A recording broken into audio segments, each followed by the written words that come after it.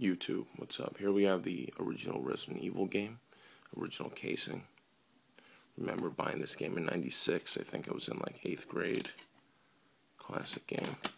Was my favorite probably until, uh, until that game came out, right there. Resident Evil 2. Original casing, there's Leon, there's the booklet, there's the back. We Claire.